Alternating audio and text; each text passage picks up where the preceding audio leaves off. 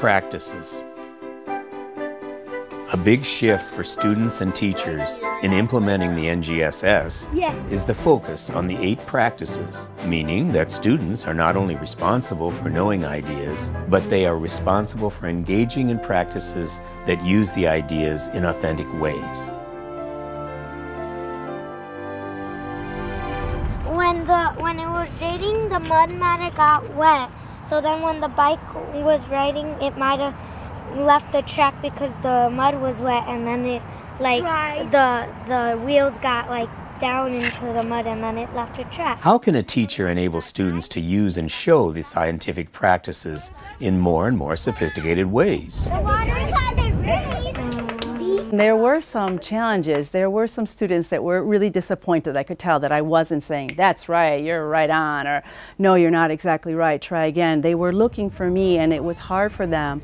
But they did learn from that experience that unexpectedly, certain students who don't talk a lot had something to say. puddle and yesterday and like it rained, so there's a puddle. The idea that kids are scientists and kids can make their own science and come up with their own ideas and their own explanations, and that it was generated here in the classroom. Being part of that, like facilitating that as a teacher, that kind of like developing agency of students, I think is one of the most exciting things about NGSS. Look at these cards that you made yesterday. They may not be the exact cards that you made. Molina's students start with writing claims with evidence. They are working toward listening for the evidence in the claim, working collaboratively, and taking risks.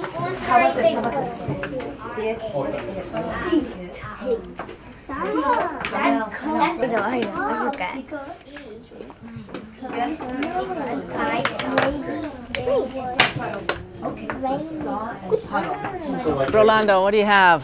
Because wet wet from ugh. Even though this practice was new to Molina, she worked to support it using sentence strips and student gathered photos for evidence. Suppose you wanted to make a claim. What do you want to know? So suppose you wanted to ask yourself, did it snow last night? That would be what you're thinking. Thinking about things that are easier to see, like snow. So that's what you think. And then the evidence would be um, why you think that. What did you observe? Another practice the students engaged in was predicting phenomena, which was part of planning and designing the investigation, and then explaining the predictions. How does that compare to your prediction? down in the ground. So it did it. Interesting. Who's in the gravel group? What was your prediction when we pour the water on it? float. Um, the water will go on the rocks. There'll be like mud in there, and then the rocks are gonna probably float. And The they're rocks are going to change- float? and they're gonna change color. Huh. Okay, let's see. Very nice job. It changed color. It's more darker. Is it a river on the rocks? No. No. The predictions allowed the students to show how their thinking was developing. The NGSS show that practices lead to other practices and that they cannot occur in isolation. Just as scientists participate in multiple practices in the real world. The practices work together along with the disciplinary core ideas and cross cutting concepts to allow students to explain phenomena. What do you think? I don't agree. You don't agree? Do you want to say anything more about that? I don't agree because there's water and there's not normally water there. But it doesn't change the land. What else about that? What can you say? Doesn't changes the land because that's hard. And so, why does that matter? Because then the land doesn't change. Concrete can get um changed sometimes because it can get cracks. What do you think, Sandy? Change. Okay, how come? Because here is dry, but when it's gonna rain, it's gonna get wet, so it's gonna change. Okay, I'm going to put it here. I'm going to put it here. I Yeah? Oh, she disagrees. Okay, why do you disagree? Because, right, it wasn't, well, maybe the day before that day, it was raining, but now it's dry, so if it doesn't rain again so much, it won't look, the same. Notice how Melina supports argumentation. This practice can be hard to facilitate for teachers because it means that we have to be comfortable with the students being in a space of productive uncertainty. Facilitating this practice is one of the big shifts for teachers. If one person is saying something, we have to figure out how are we going to not say yes or no, but get another student to respond. I think that's the biggest challenge, but it's also one of the most rewarding. So every now and then you get the kids kind of having a back and forth about an idea that's interesting and important to them. And to be able to sit back and allow that to happen and have that happen every now and then is really exciting. Stand up with your group. You're going to videotape what happened. The investigation was carried out on the schoolyard, which contained several of the different surfaces that the students had described. Who was in the concrete group? The students gathered data about how water interacts with different surfaces. What's the prediction for this surface? What's going to happen when we pour the water on it? It's not gonna change. Not going to really change because It's hard. it's hard it and so Change of color. might change color.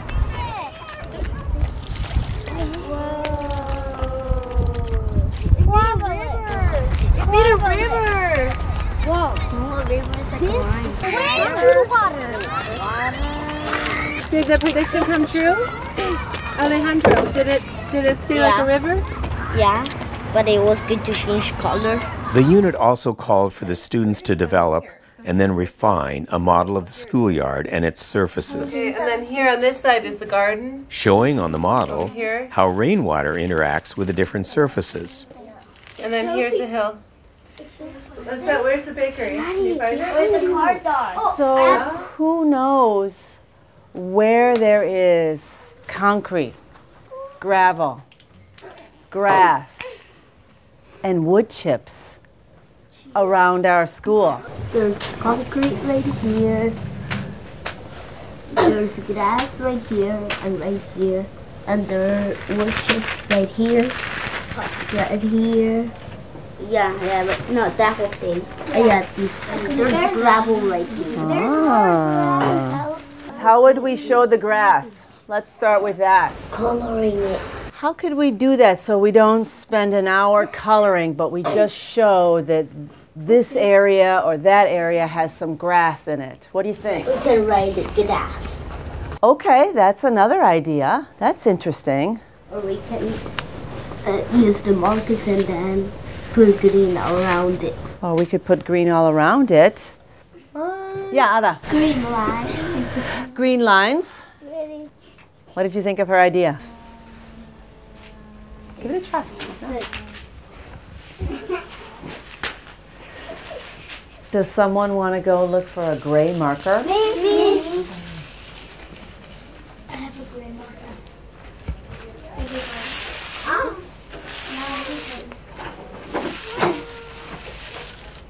Oh, that's cool. Hello there. Nice. Morning. It looks like someone cut the lawn. Is there grass anywhere else? Yeah, there's grass around here. And there's ginger. Ginger. Who can do the gravel? Gray for gravel. Okay, Rolando, why don't you give it a try? What do the dots mean? Rock. Rock. Does it make sense that that could show a surface? Yeah. That you can make dots and it means something? What symbol should we use for the wood chips or what what pattern? Little rectangle. Like Oh, what do you think about that? Little rectangles, what Adamari said. Yes. What are we missing? Concrete. Concrete, concrete. Concrete is the building up here. Yeah, yeah but it's brown. What color should we make the concrete? Red. But we used gray for the gravel. Huh? No. Yeah, do we have any color piel? No. We found some color piel crayones the other day. Why don't we use red? Oh, what about red? Yeah, that's the little color. What kind of symbol should we use for the red in the concrete? I don't know. Exit. Okay, let's do it. Let's do it. They use the model to explain that water flow causes different changes to various surfaces on the schoolyard, and there are patterns in the changes they found. Which surface did you pour water on? Ah, um, that one. On the concrete? And what happened with the water? Alejandro, do you remember? It's spread out. Oh, it spread out. How so? Tell me more about that. I made it in one space and then it was spreading out. How far did it go? Like about, I don't know, this Could you maybe show on our map what the water did? I made it about right here and then it went about this much. Could we show how it moved or how it spread? Oh, putting some arrows in there. What's that? What's arrows? You know what an arrow is, like a flecha, to show that it moved out in all directions. Oh, I put it right here. It just stayed there. How could we represent those two different things on this map? Put a circle on where we poured it. Could you do that, please? So, okay, in the gravel, a circle means that it, it just sunk in. And I think I know what happened. What do you think? I think when you put the water, there's like the rocks are like spaces then got filled like this. The rocks are like this, and the water went through them and went down. If there's holes in between the rocks and it made the water go down, if that's what happened, what's how does that compare with concrete? Does is there is there a difference between concrete and the rocks then? Because concrete is made out of rocks. Why doesn't it go down into the concrete?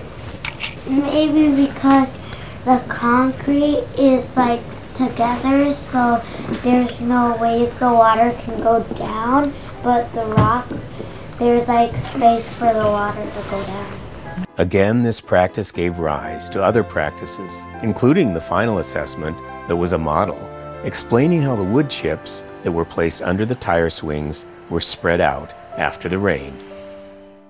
At first, Molina and her students were uncomfortable with productive uncertainty, but they rapidly adjusted. How are you supporting inclusive, respectful discussion about the practices in your class?